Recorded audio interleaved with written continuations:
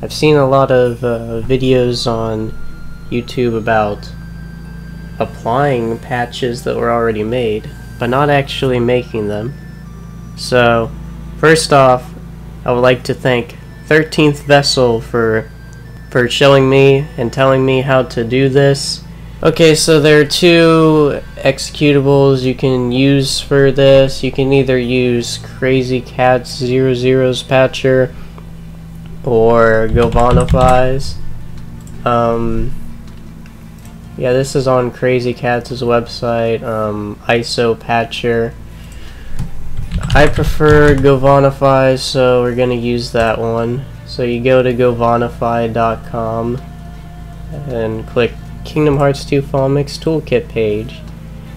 You'll want the developer release because that's how you are going to be able to make patches.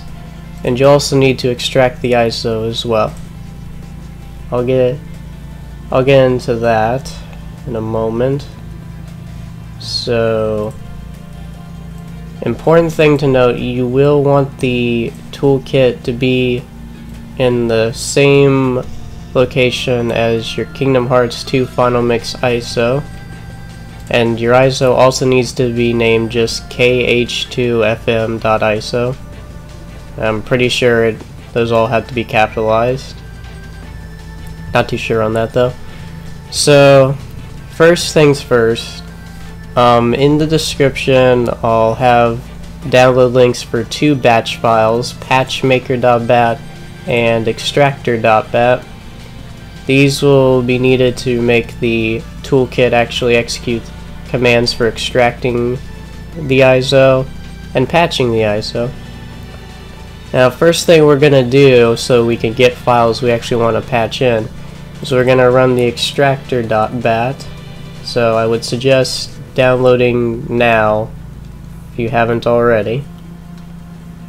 Anyway, so after that, after this shows up and loads, you just press enter and then it starts extracting the game. This will probably take a while.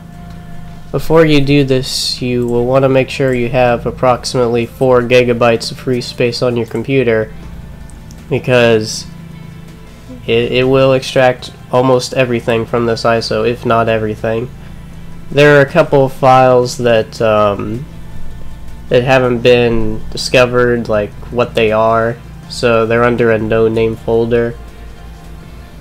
But most things you'll have events, models, movesets, A.FMs, aka effects, you'll want to extract this from an ISO you actually own if you don't want to do any of that illegal stuff. Wouldn't want to do that, would you? Okay, I'm gonna skip to uh, this being finished.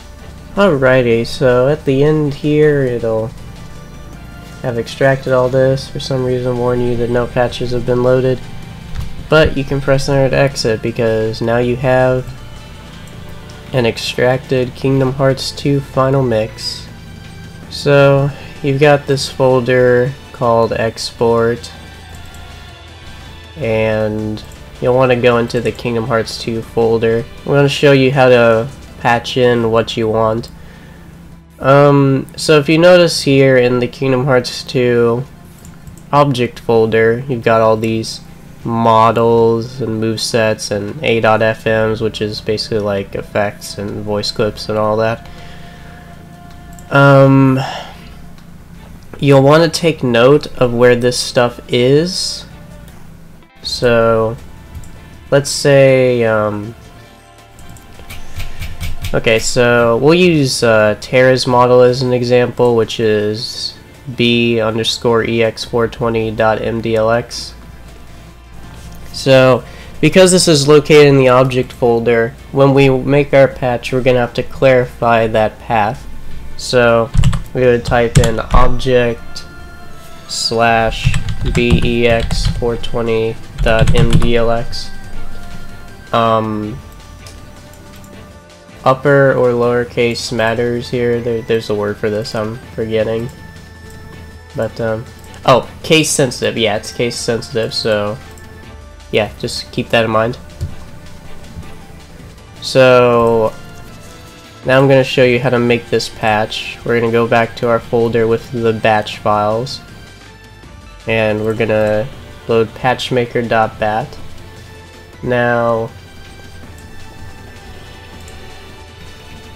because we want to make a patch with a changed Terra model, for example, um, in the folder where the patcher is located, you'll want to recreate that path to the model. So like I have uh, an object folder here, and then inside there would be what I want to patch, which is, in this case, a Terra model with a texture mod on it. So, once you have that path created, same same name, case sensitive, all that, and you have your your patcher loaded sorry patch maker. Uh, press press enter there. Then it'll ask you a few stuff uh, you know and can enter your name revision number and just other stuff there. You, you can decide whether or not you want to put stuff there so then our file name, since we're patching Terran, is object bex420.mdlx, like we have here. Now, relink to this file name, you don't really need to do this. In fact, you probably should just skip over this. Compress this file, yes. We don't want everything T-stancing from uncompressed stuff. This file be added if it's not in the game. No. We don't want to add extra stuff to the ISO. Unless you're a really good expert at this. But let's let's start slow, shall we? So then it'll ask you for another file name. And if you don't want to add any more, you can press enter. And it'll tell give you some stats and then your patch will be created. Press enter to exit and we have a new file here called output.kh2 patch. And now, what you want to do to patch this into the game, just drag it onto the toolkit, executable. Yeah, I don't care, run it. So, if successful, it'll say that it's loaded that patch. And then if we press enter, it will patch it into the game. But before we do that, I'm going to show you a quicker method of um, making a patch, so we'll delete that. Activate our patch maker again. So, it would obviously be very annoying if you had to just enter the file names that slow and go through all those steps. What you can actually do is um, make a text document formatted like this where you have your file name, a space, aka you pressed enter, go go down, press enter again, and then you have, you know, do you want to compress this file, yes or no? Then this is blank again, and then should it be added if it's not in the MDLX? And then you can just do this over and over again, and you'll patch multiple things into the game. So I'll I'll copy uh, a bunch of stuff to show you.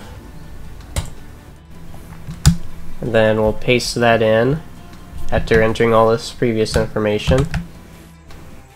And there we go. Now we're patching in a lot more stuff.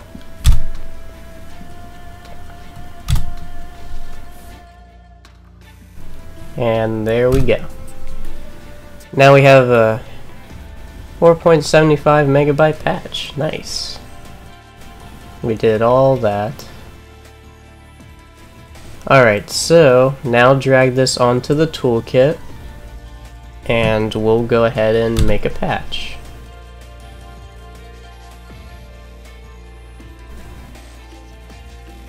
And it'll do all that patching stuff. Let me make sure I have enough free space. Uh, we're... I, th I think we do. I hope we do. Yeah, just barely.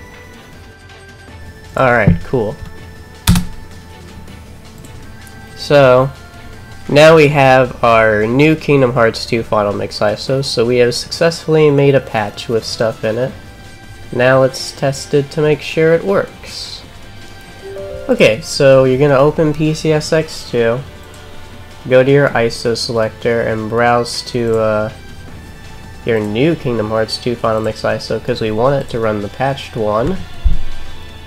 Then you boot it as you normally would. I'll go ahead and load up EmuHaste as well. you don't actually need EmuHaste loaded, but um, you know, I still want to input my codes and all. Okay. Also, when you make a patch and you're like running a patched ISO, do not load save states from ISOs that are um, save states that were made when the ISO was unpatched, because you will crash like during a room transition, if not before that. So I guess, yeah, okay. So we patched in a Terra texture mod, so We'll make sure that works. I'll go ahead and load Terra. Hope the game doesn't crash. Alright, well, that worked.